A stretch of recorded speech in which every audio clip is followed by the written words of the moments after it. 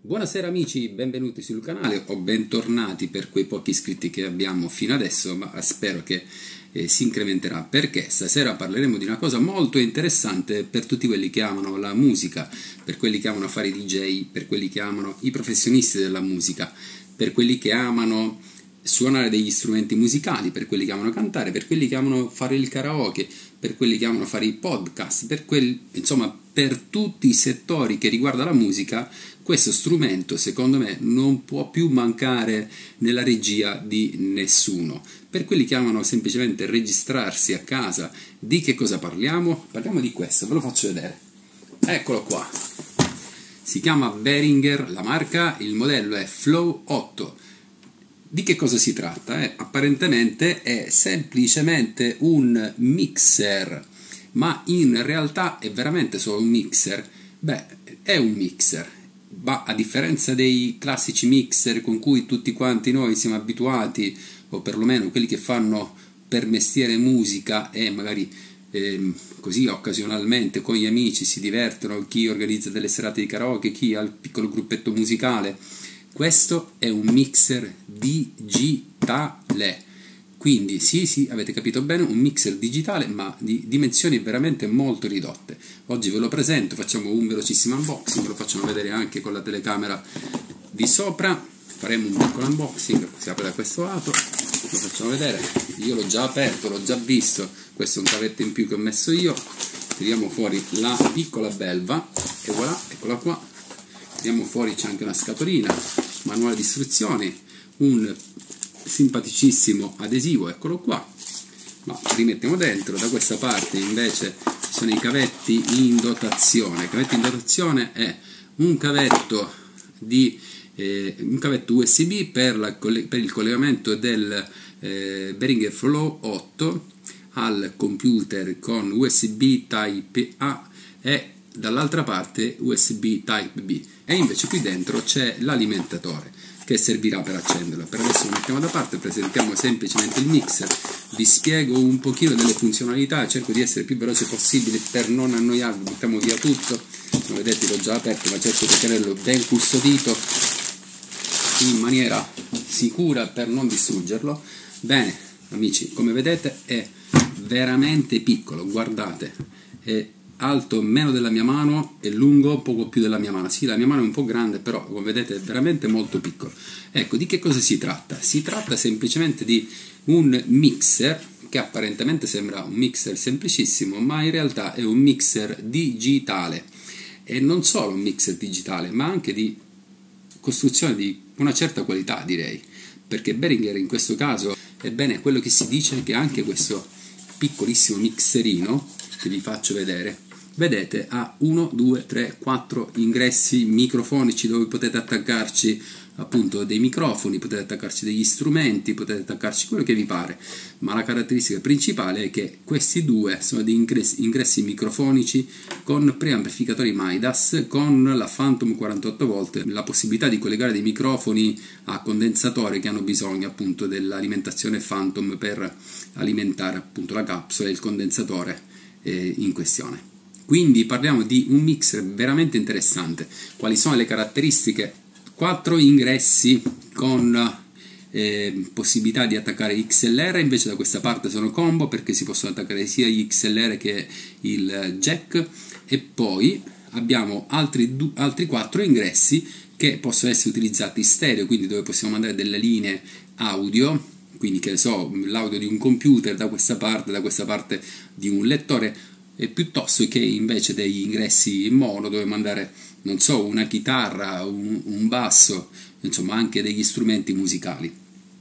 Qui sotto abbiamo i fader che corrispondono ai vari canali, 1, 2, 3, 4 corrisponderanno agli ingressi microfonici, quindi 1, 2, 3, 4 saranno questi, mentre gli altri due eh, comandano eh, gli ingressi jack stereo, quindi questi due verranno comandati dal cursore numero 5 e questi due dal cursore numero 6. Cosa abbiamo da questa parte? L'uscita principale, il main mix, l'output del, del mixer con eh, anche in questo caso un'uscita XLR per eh, andare all'amplificatore o alle casse, come vi pare, e l'uscita cuffie eh, col suo potenziometro per poter regolare il dB della, delle cuffie Eh, mentre da questa parte abbiamo ben due uscite monitor.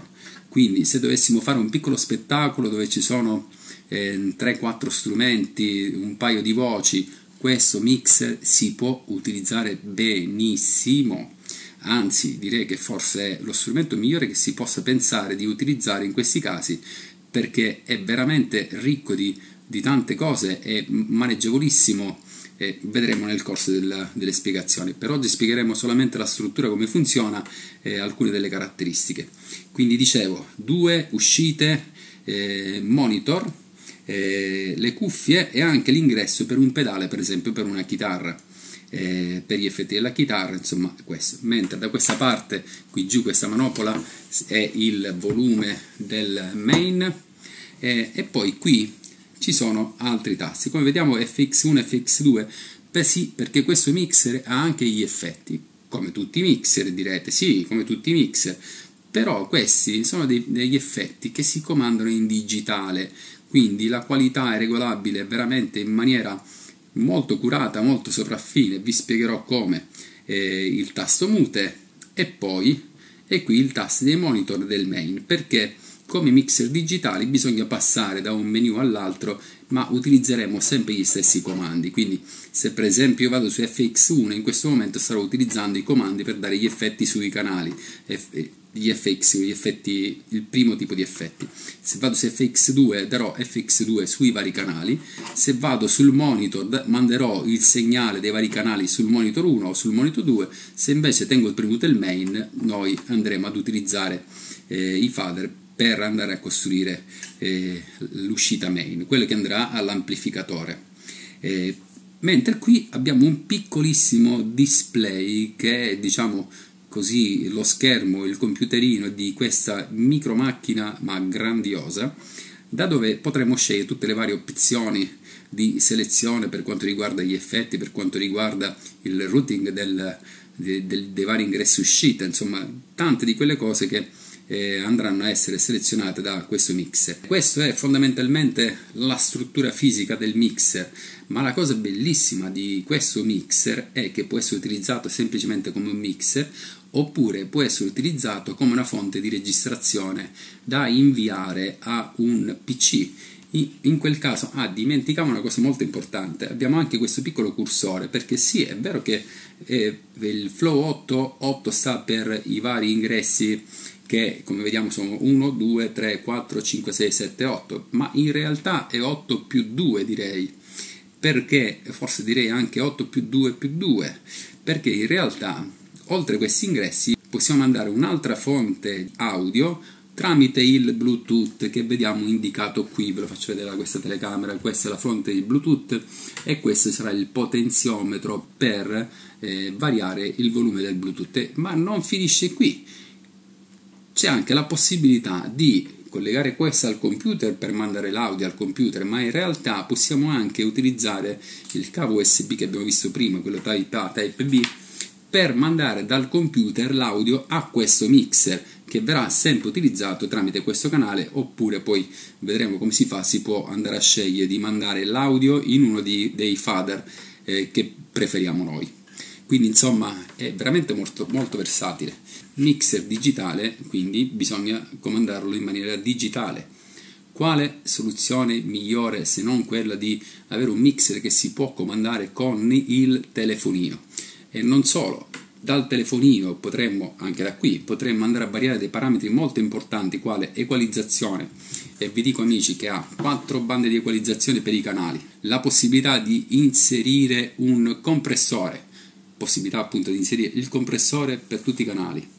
E poi la possibilità di inserire un limite sul main. Quindi se vogliamo montare delle cose in cui abbiamo il rischio che qualcuno magari dia una, un accento eccessivo su una chitarra o sulla voce eh, che rischia di far andare in picco tutto l'impianto, noi possiamo impostare un limite sul master. Incredibile, questo lo fa non solo, sul master avremo un'equalizzazione a 9 bande, sempre digitale, fatta dal telefonino e sempre dal telefonino potremo andare a scegliere i vari effetti da inserire sul, uh, sui, sui, canali eh, quindi due effetti, mi pare che sono 16 effetti per ogni canale di effetti e, e anche scegliere il tempo del delay tramite il tasto tap che eh, sarebbe questo qui, quindi insomma un mixer veramente molto interessante che io ho scelto di prendere perché eh, da oggi utilizzerò questo piccolissimo strumento e vedrete che chi verrà a cantare riuscirà ad avere un suono davvero professionale. Vi ricordo ancora una volta, ingressi Canon Phantom di preamplificazione Midas, quindi parliamo di grande qualità, mixer digitali, quindi possibilità di inserire compressori, equalizzatori limitatori, insomma è veramente una macchina piccolissima dalle grandissime capacità. Se vi interessa, se vi piace, se siete curiosi di sapere come funziona questa macchina che vi faccio vedere da tutte le parti, da questa parte abbiamo l'ingresso di alimentazione, l'unica cosa che insomma la vedo un po' economica che hanno fatto è quella di mettere un'alimentazione micro USB, eh, avrebbe potuto utilizzare una Type-C, probabilmente più duratura, più efficace e meno rischiosa. E poi da questa parte quello che abbiamo visto prima, l'USB Type B per collegarlo al computer. Non c'è nient'altro, tutto il resto è sul fronte. L'utilizzo di questo mixer sarà veramente fantastico per quei gruppetti che vogliono fare una mini band e possono mettere questo mm, insomma, vicino a uno strumento ed è piccolissimo e gestire alla grande tutto quello che riguarda il suono dei loro strumenti, delle loro voci o ancora meglio mettersi semplicemente un piccolo tastierino o un tablet eh, da cui poter gestire. Ah, dimenticavo, ci sono anche questi due piolini qua, ve li faccio vedere frontali, ve li faccio vedere anche la telecamera telecamera in alto 1 e 2. A cosa servono? Beh, semplicemente a mettere qui un tablet o un telefonino e utilizzare tutto dal vostro mixer. È fantastico? Per me sì. Voi che ne pensate? Volete qualche altra informazione su come funziona? Vi faccio vedere anche, se volete, nei prossimi video eh, le schermate dell'app tutte in italiano perché in Italia ancora non ne parla nessuno di questo mixer. Quindi se volete vi faccio vedere anche come funziona l'app, come si gestisce il eh, mixer dall'app e magari poi facciamo anche qualche prova audio. Io l'ho già provato, è veramente incredibile, veramente molto molto molto bello e interessante. Fatemi sapere cosa ne pensate. Grazie, al prossimo video. Ciao!